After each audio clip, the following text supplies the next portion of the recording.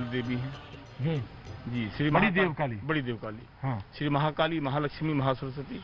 हाँ। और प्रभु राम का जब जन्म हुआ था जी। तो महारानी कौशल्या उनको हाँ। दर्शन कराने यहाँ पे थी। प्रभु राम को लाई थी। तो ये रघुकुल की कुल देवी कुल देवी है। प्रभु राम की कुल देवी है। और स्थापना किसने की थी? राजा रघु ने राजा रघु ने रघु ने। अच्छा। भगवान प्रभु राम के पूर्वज थे वो। पूर्व हाँ। तो इसमें तीन मंदिर हैं। श्री मंदिर श्री महाकाली हाँ। श्री महालक्ष्मी हाँ। श्री महासुत्री देवी भागवत के सातवें अध्याय और ग्यारहवें स्कंद में हाँ। इनका वर्णन दिया गया है। त्रिगुणा।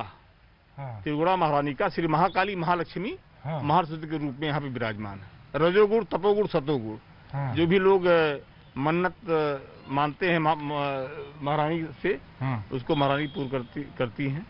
और कहते हैं कि अयोध्या का जो फल है भाई महाराज अयोध्या का फल तब तक पूर्ण नहीं होता जब तक इनके दर्शन बिल्कुल ना बिल्कुल बिल्कुल बिल्कुल राइट बिल्कुल जब तक महारानी के दर्शन लोग नहीं करेंगे हाँ। तब तक अयोध्या का दर्शन करने से कोई मतलब नहीं है। जी। महाराज आपकी आपने मुझे बताया इसके बारे में और लोगों को भी पता चलेगा तो अच्छा रहेगा कैसे हैं?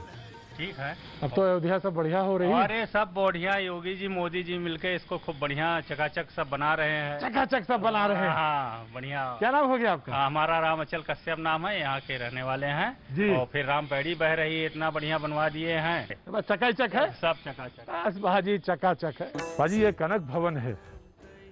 सीता जी को मुँह दिखाई में केकई ने दिया था। और ये सच है कि केकई को सबसे प्रिय अगर कोई था तो वो राम थे।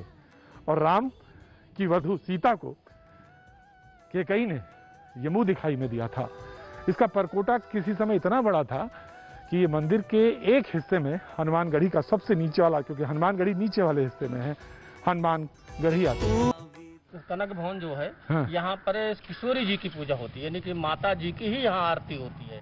सारे अयोध्या में और सब मंदिरों में तो भगवान राम की पूजा होती है। हाँ। लेकिन यहाँ कनक भवन में माता जी की ही सुबह शाम आरती और पूजा होती है। यहाँ भगवान यहाँ रूप में है। तो यहाँ जय श्री राम नहीं है यहाँ सीताराम है। जी। हाँ जी। यहाँ सीताराम है। क्या बात है। यहाँ पे क्या है? सीताराम है यहाँ। क्या है यहाँ पे? सीताराम सीताराम। माता कैके के द्वारा इसको दिया गया है।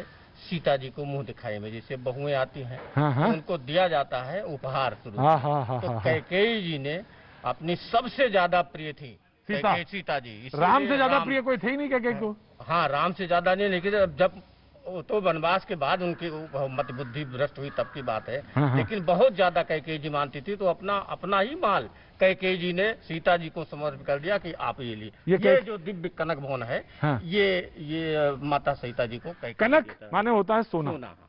तो ये ये, ये पहले सोने का था पूरा लेकिन कुछ काल बाद इसमें ऊपर के जो बने हुए हैं वो सोने निकाल के रख दिए गए बीच में सिर्फ़ अंदर का ही गर्भगृह है जो सोने और चांदियों से मुकुट से बना हुआ है अंदर वाला। अंदर वाला सारा कंप्लीट है। कई मन सोना था कई मन सोना था यहाँ पे इस कनक भवन में।